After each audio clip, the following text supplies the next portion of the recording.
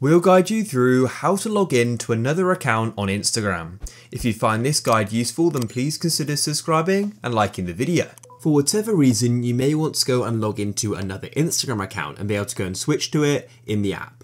So to go and do this, first of all head to your Instagram profile, so click on the profile icon in the bottom right and what you need to do is go to the top right of the profile page and go and click on the three lines and this will open up this menu here and then what you need to do is go and click on settings and privacy. And then what you need to do is go and scroll down here right to the bottom until you see the option add account. And then what you want to do is click there.